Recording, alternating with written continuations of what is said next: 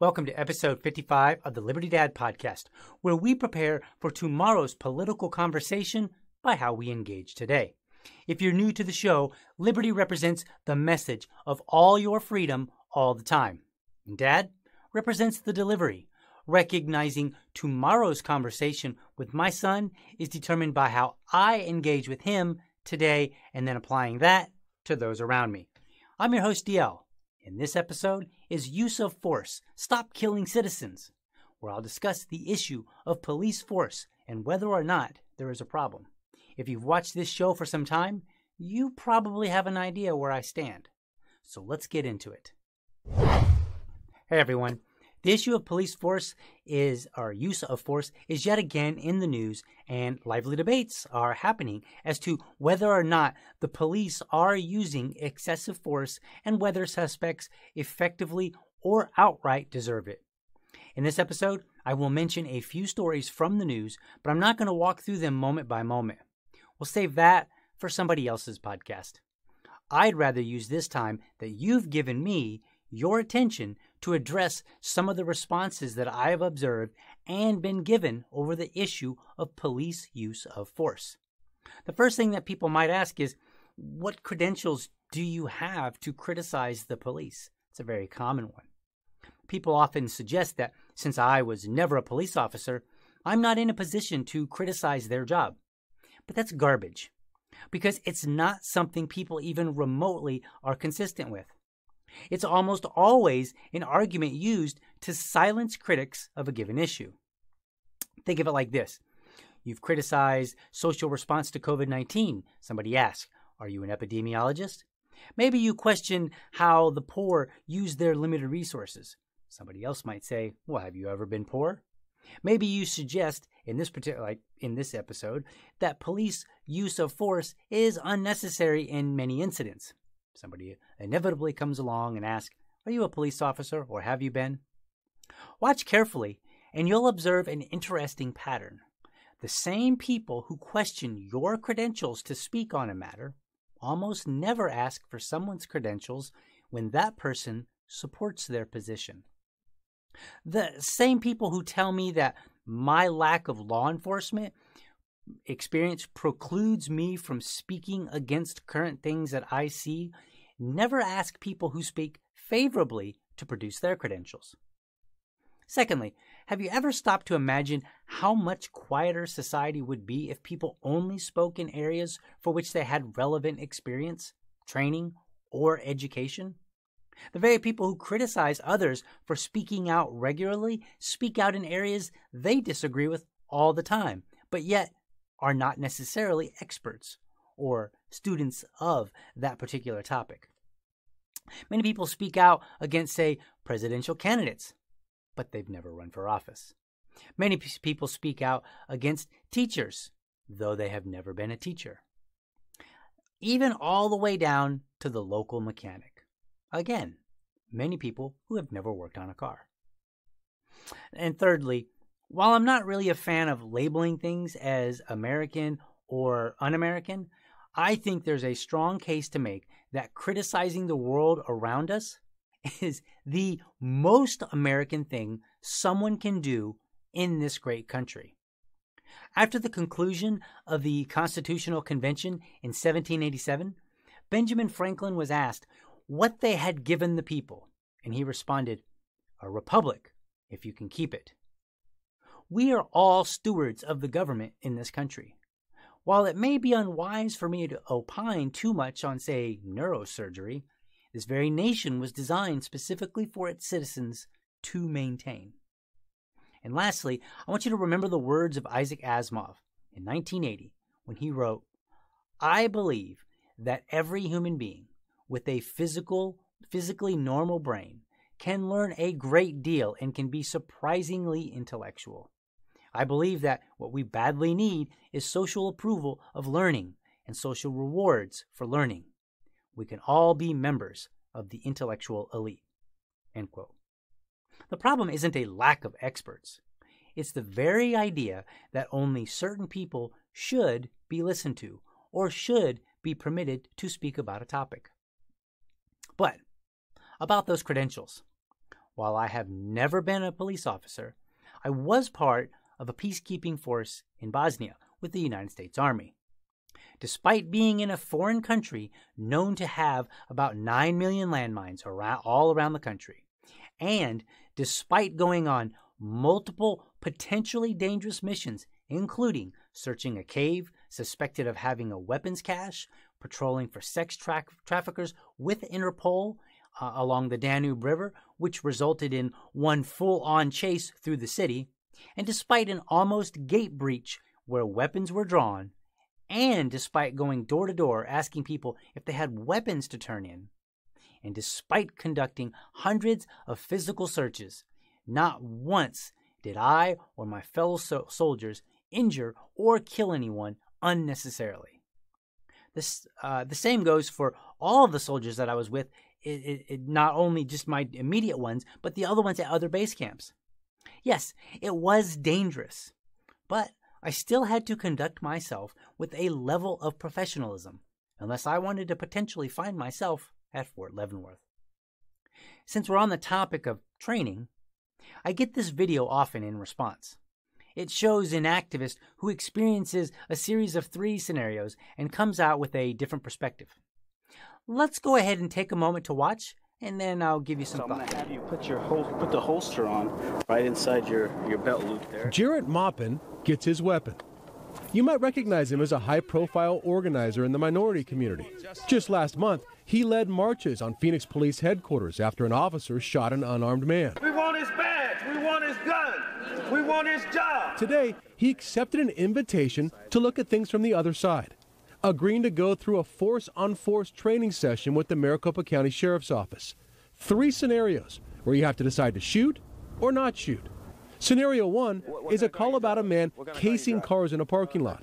Maupin approaches the man and starts asking questions. Look.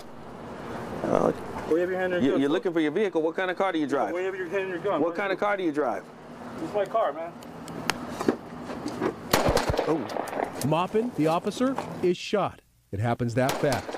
At what time did you think that it was time for you to address the use of force that was given? When he came to the back of the vehicle Okay. uh, and and was hiding, you know, I could sense something something was wrong. Scenario two a call of two men fighting.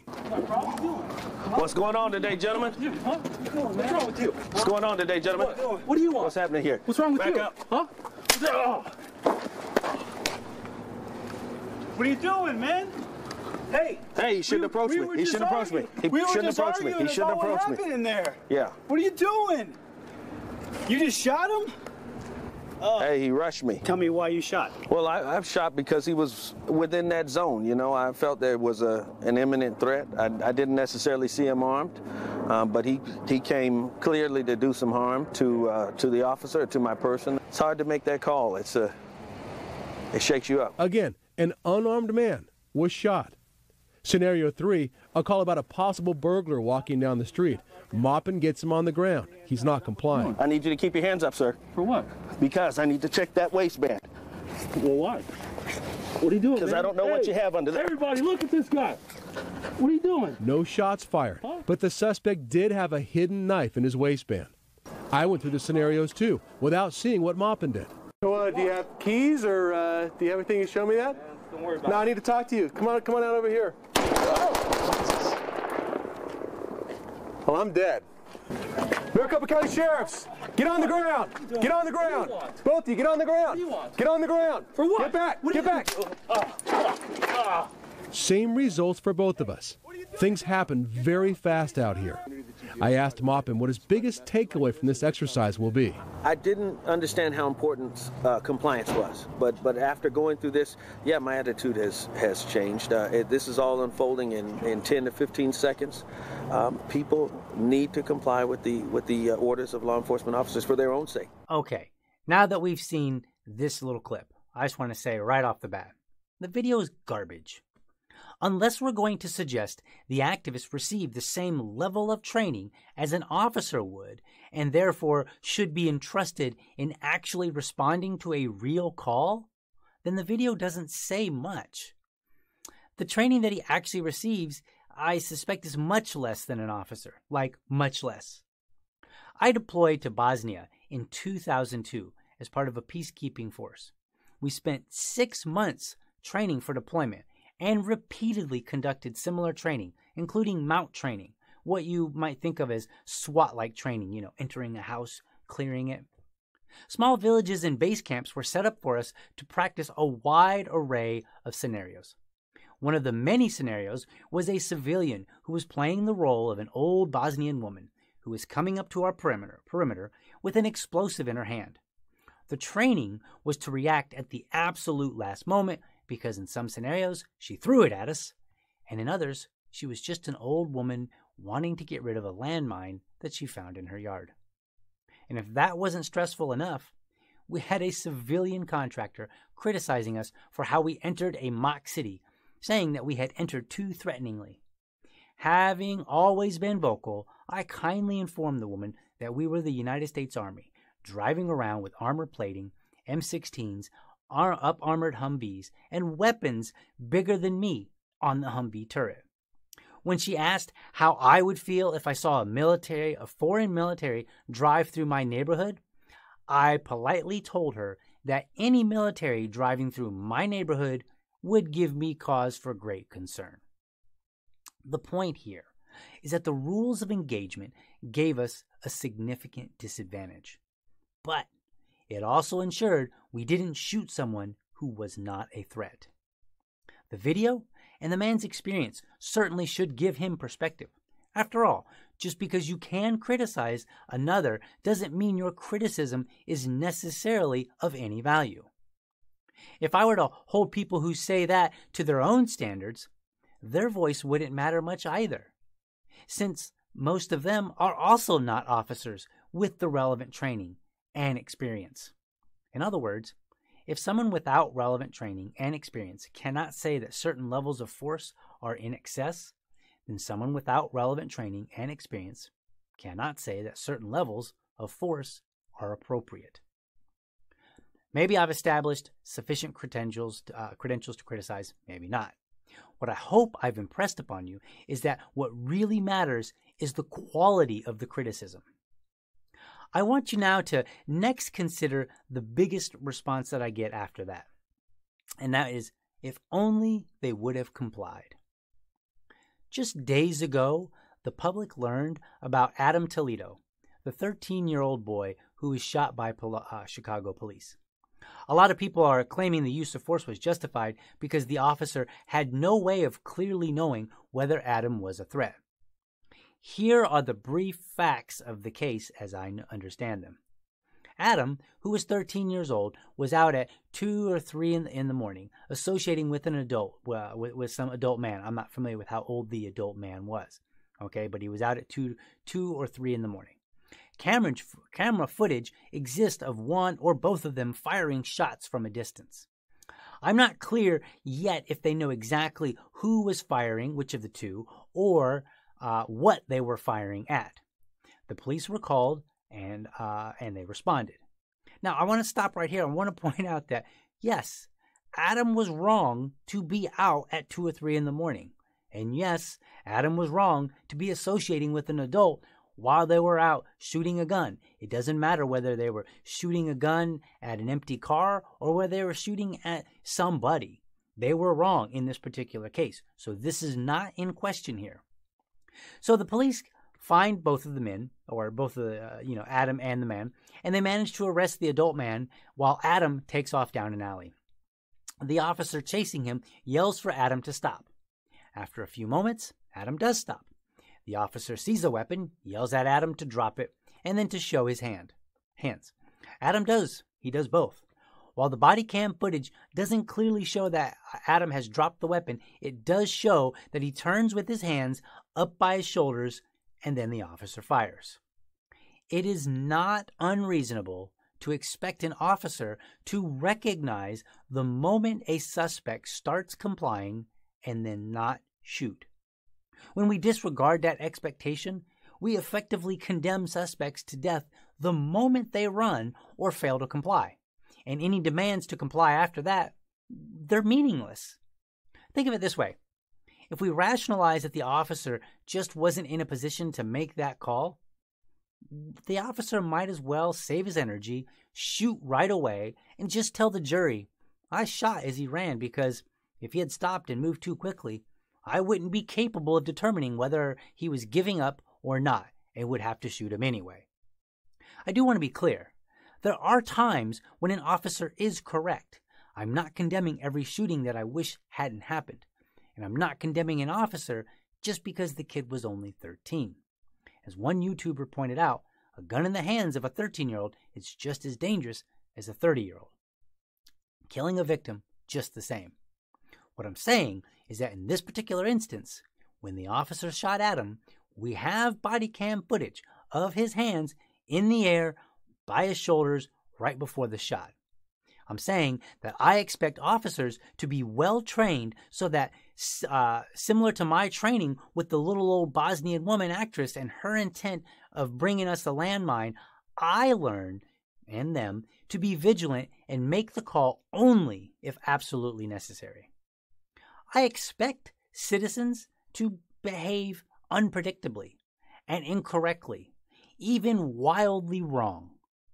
Criminals often do many things to evade capture, but evading capture should not be a death sentence.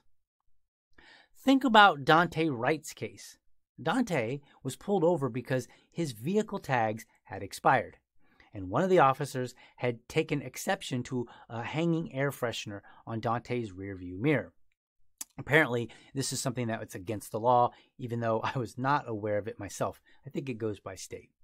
After running his name, officers discovered Daunte had an outstanding warrant for failing to appear in court over charges of gun possession and failing to keep in touch with his probation officer.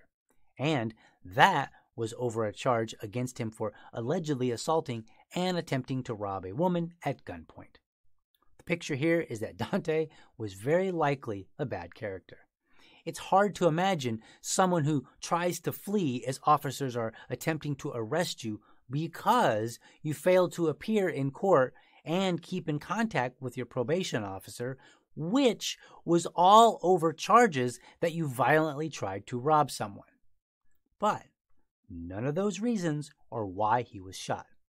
Officer Potter, a veteran of the police force since 1995 and a field training officer, mistakenly grabbed her firearm instead of her taser. According to news reports, I don't own uh, these two items myself, but according to the news reports, there's about a one pound difference between the two. That's pretty significant. You can find the video online where she yells taser multiple times, fires, and then realizes she just shot him with an actual gun, then exclaims that she shot him. Okay, so it's clear that she didn't intend to shoot him with a gun. As Daunte's critics say, it is true that if he had not resisted and tried to flee, he would not be dead. It's also true that had he not skipped out on his probation officer or missed his court date, he would not be dead. And it's also true that if he had not tried to violently rob a woman the morning after a party, he would not be dead. But again, none of those reasons are why he is dead. He isn't dead because the officers felt he was endangering their lives. He is dead because an officer negligently grabbed a firearm instead of her taser to subdue a fleeing suspect. As I said before, I would be more willing to accept an accidental shooting from officers if there weren't so many intentional shootings. The reason for that is both that they both seem to be very related to training and the laws we have on the books and what really seems like a high probability of not being charged, much less found guilty. Again, I cannot stress this enough. Daunte wasn't killed because an officer intentionally grabbed their firearm and intentionally used it to stop an immediate threat. Citizens are not trained how to interact with the police, and many will make a foolish split second decision to try and make a break for it, even though they shouldn't and are almost certain to not get away. it is a common occurrence, and police should be trained to handle these sorts of exceptions. I expect the police to be well trained and to be able to respond to situations that are unpredictable, except for the fact that their occurrence is actually quite predictable, as odd as that may sound. Now, I want to stop here for a moment. I want to point out that uh, we've had this conversation about guns in this country on a regular basis. And a lot of people like to point out that the Second Amendment talks about a well trained militia. Okay. And so every time there's a gun shooting, uh, say like a, a mass shooting, they all clamor to the Second Amendment and say, well, you know, the Second Amendment actually limits because it's supposed to have, it's supposed, it's only calling for a well trained militia. Now, I tend to disagree with most of those arguments, but I wanted to point that out because we have a force. It's not necessarily a militia, but we have a force that is armed and they are supposed to be well trained. And you know what? I hear a lot of silence from the same people who tell citizens that they shouldn't have a firearm every time somebody uses that to kill, not in defense. And they're claiming that this is an issue of lack of uh, uh, uh the lack of a well trained militia. Well, if you want to talk about well trained and militia, just to use a term in the sense of a um, of of a collective group of people, start with the police.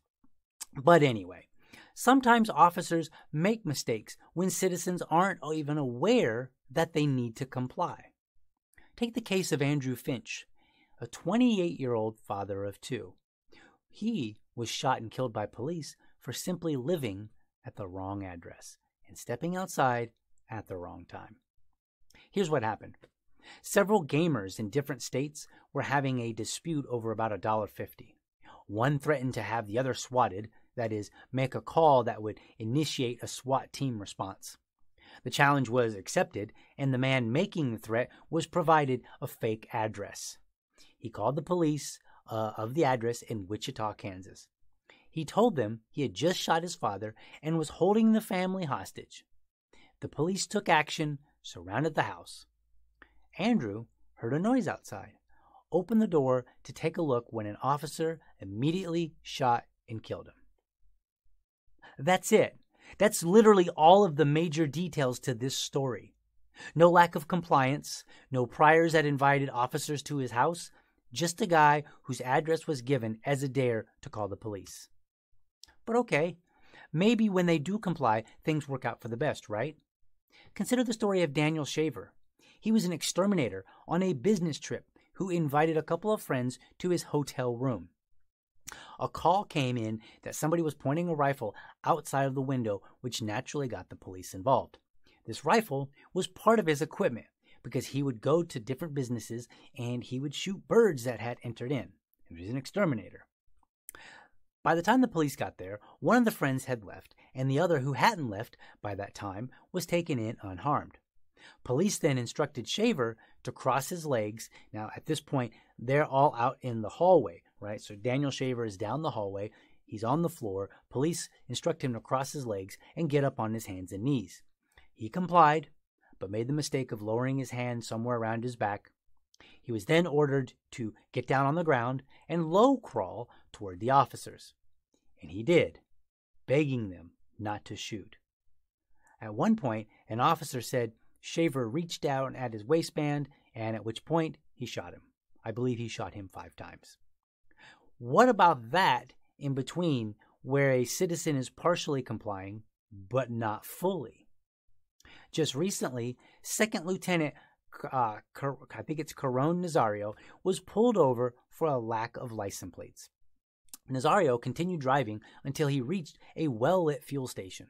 This is something that I've heard recommended that many women who are driving alone do for additional safety. And many other people do it as well, not only for their own safety, but to assist an officer so that the officer feels more comfortable with a well lit area. Even after seeing his temporary tags on the back of the window, the officers still aggressively approached Nazario and made multiple demands of him. Some of them were conflicting.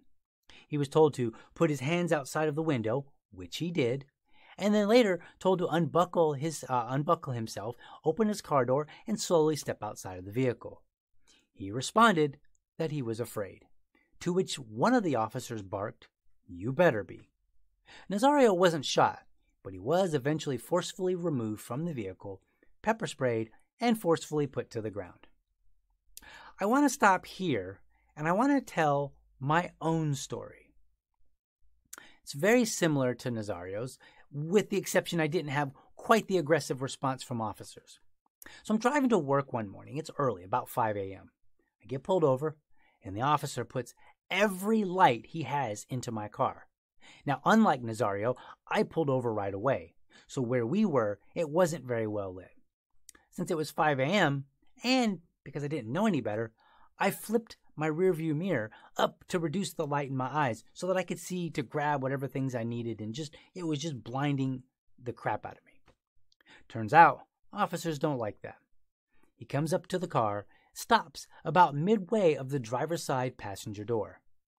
Very firm voice, he demands that I exit the car slowly. I do. He starts berating me over flipping my rearview mirror, rear view mirror up. And then, and I kid you not, he says, when you flip your rearview mirror, you know what that tells me? That you don't want to be blinded. Now, I want you to imagine a 20 something who is a bit of a smartass trying to hold his composure. I wanted badly to say, No crap, Sherlock. Then he asked me if I knew why he pulled me over. I told him I did not, as I was wearing my seatbelt, driving the speed limit, and otherwise following traffic laws. At the time, I did not yet know to keep my mouth shut. He walks me back about 10 feet behind my car, and he asks me what I see. I'm still clueless. He then says that my smoke covered license plate cover makes it hard to read my license plate. And then he gives me a warning, but tells me, again, in a very strong, firm, aggressive voice, that it better be removed by the next time that he sees me. Now, remember, I'm early 20s. I bought the cover at Walmart because I thought it would make my car look, eh, just a little bit nicer. I was under the foolish impression that if Walmart sold it, that it was legal for me to use.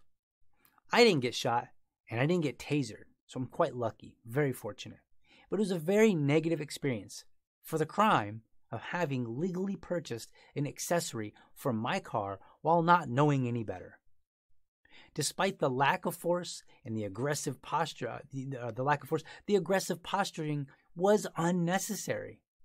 One might even argue that with a store like Walmart selling such accessories, officers should know and they should just simply pull someone over and say, Hey man, I know you spent like 20 bucks on that license plate cover, but I gotta tell you, it's illegal and I'm gonna have to ask you to remove it. But you know what? Have a good day, man. Stay out of trouble. That's it.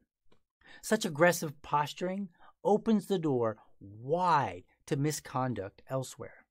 And the reason is because that level of aggression is considered acceptable for such a minor offense, it's easy to graduate to a more dangerous aggression. Consider the case of Kelly Thomas, a schizophrenic homeless man in Fullerton, California, back in 2011. Kelly was beaten so badly by police that they broke his facial bones, left him in a pool of his own blood, and then demanded that the emergency personnel tend to police first, who suffered no serious injuries. Kelly went into a coma while in the hospital, and, life support was pulled five days later. Video later surfaced with, uh, which the, uh, with the following conversation between the officer and Kelly. Before I give you this conversation. I just want to again point out uh, the show is generally family friendly. So if you have children, this may be a point that you may want to cover their ears. But here's what they said Now you see my fist? Officer Manuel Ramos asked Thomas while slipping on a pair of latex gloves. Yeah, what about them? Thomas responded. They're getting ready to fuck you up, said Ramos. To which Thomas replied, Start punching, dude. That's it. Well, that's the part that I wanted to repeat. Ask yourself is that the sort of policing that we want in America? In a prior episode, I talked about America is supposed to be the best, and we should challenge everything. We should ask a simple question Is that the best we can do? Is that the best policing we can do right there? Or any of these stories that I've uh, repeated to you, are they the best that we can expect? Because it seems to be becoming more prevalent. It's 2021, and we've been having riots over policing since as early as 1965 when the Watts riots broke out. There is story after story of incidents where officers use unnecessary aggression in their interaction with citizens. In some cases, the citizens were wrong, maybe even exacerbating the situation. Some of them were indeed criminals. Some themselves were frightened. Some complied.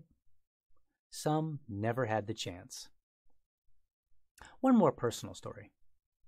Back in 2017, our local police department held something called Coffee with a Cop. It was a good conversation, but I was disappointed on one uh, on one particular element. In response to stories like these, they expressed their wish that people would remember most interactions with police do not end so tragically or violently, but end much more peacefully and without conflict. I asked if they were willing to reciprocate and not themselves be tense and aggressive during encounters such as mine, knowing, as they said, that most citizens would cause them no harm. Their response was underwhelming, saying that they just never knew what they were going to be walking into, and therefore must approach the situation with a heightened readiness. In other words, it's not fair for citizens to fear them, but it's completely fair for them to, to fear citizens. To that, I say, then lead by example.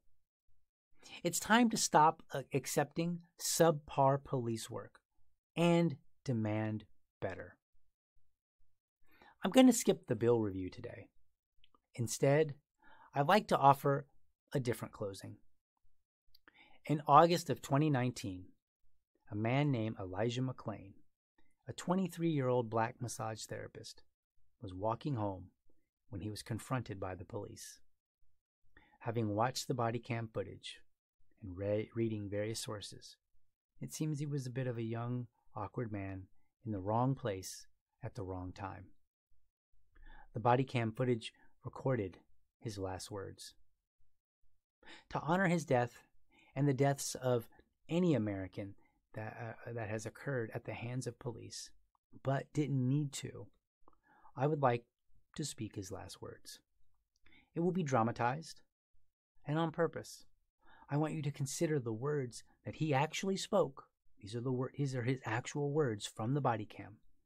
And I want you to imagine if these words were your son or daughter's last words. I can't breathe. I have my ID right here. My name is Elijah McClain. That's my house. I was I was just going home. I'm an introvert. I'm just different. That's all. I'm so sorry. I have no gun. I don't do that stuff. I don't do any fighting. Why are you attacking me? I don't even kill flies. I don't eat meat. But I, I don't judge people. I don't judge people who do eat meat. Forgive me. All I was trying to do was become better. I will do it. I will do anything. Sacrifice my identity. I'll do it. You are all phenomenal. You are beautiful, and I love you. Try to forgive me. I'm a mood Gemini. I'm sorry. I'm so sorry. Ow, that really hurt. You are all very strong. Teamwork makes the dream work. Oh, I'm sorry. I wasn't trying to do that. I just can't breathe correctly.